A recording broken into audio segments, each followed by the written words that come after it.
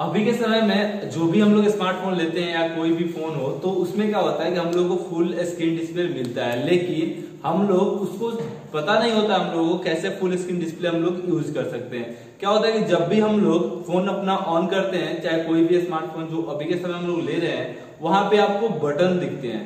तो जब बटन देखते हैं वहाँ पे ये नहीं हुआ कि वो आपका फुल स्क्रीन डिस्प्ले हो गया।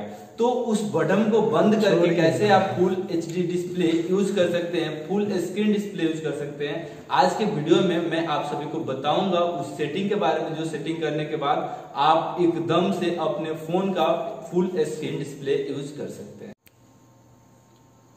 तो सबसे पहले मैं आपको अपने फ़ोन में करके दिखा दे रहा हूँ कैसे आपको उसको इनेबल करना है, किस सेटिंग में जाना है और कौन से सेटिंग में जाके उसको इनेबल करना होता है या फिर उसको चालू किया जाता है, बंद किया जाता है। तो सबसे पहले क्या करना है, आपको सिंपली अपने फ़ोन के सेटिंग में आ जाना है। सेटिंग में जब आप जाइएगा तो आपको यहाँ पे एक ऑप्शन मिलता है एडिशनल सेटिंग का। एडिशनल सेटिंग को आपको ओपन कर लेना है। और उसके बाद जो यहाँ पे चौथे नंबर पे दिख रहा है आपको फुल स्क्रीन डिस्प्ले यहाँ पे आना है और आपको यहाँ पे दिखेगा एक बटन और दूसरा जो है फुल स्क्रीन गेस्टर तो यहाँ पे क्या है कि यहाँ पे आपको शो कर रहा है कि ये कैसे चल रहा है, ठीक है? अब ये हम लोगों को चलाना सीखना होगा, या फिर अगर आप जब इसको यूज़ करेंगे तो खुद ब खुद पता चल जाएगा कि आप कहाँ से बैक कर सकते हैं, कहाँ पे इसका यूज़ हो सकता है, कहाँ पे नहीं हो सकता है। तो अभी जो मेरे फ़ोन में है, वो बटन ही यूज़ हो रहा है। तो मैं जब इसको फुल स्क्रीन करूँगा तो यहाँ पे आपको सिंपली क्लिक कर देना होगा और यहाँ पे क्लिक करते ही आपको कुछ सीखने के लिए मतलब कैसे यूज़ करना होता है, आपको सीखने के लिए यहाँ पे लर्न का ऑप्शन आ जाता है, या फिर आप उसको नहीं सीखना चाहते हैं, आप ऑलरेडी जानते हो तो यहाँ पे नट नाउ पे क्लिक कर दीजिए,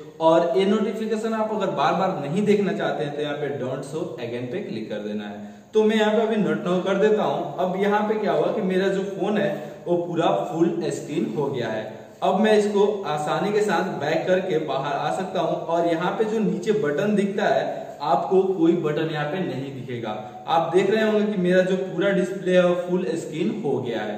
तो ऐसे ही आपको सेटिंग करके और वहाँ पे एडिशनल सेटिंग में जाइए और आराम से फुल स्क्रीन डिस्प्ले को आप ऑन कर सकते हैं। एक और चीज़ जो अगर बटन में हम लोग को यहाँ पे दिखता है तो हम लोग क्या है था कभी दूसरा फ़ोन यूज़ करते हैं तो ये जो यहाँ पे मेनू बार होम का ऑप्शन होता है, वो बैक करने वाला कहीं और होता है तो यहाँ पे अगर आपको इससे दिक्कत है तो आप यहाँ पे मिरर बैक जो यहाँ पे मेनू बटन है, इसको आप सिंपली बंद कर दीजिएगा तो आपका चेंज हो जाता है। और अगर आपको ऐसे ही चलाना है, ऐसे ही चलाने में कंफर्ट महसूस कर रहे हैं तो आप यहाँ पे आराम से ऑन करके मिरर इसका चेंज कर सकते हैं। और जो फुल स्क्रीन है, वो यहाँ पे आप कर लीजिए। और अगर आपको इस बारे में नहीं पता है तो आप यहाँ से आराम से लर्न करके सीख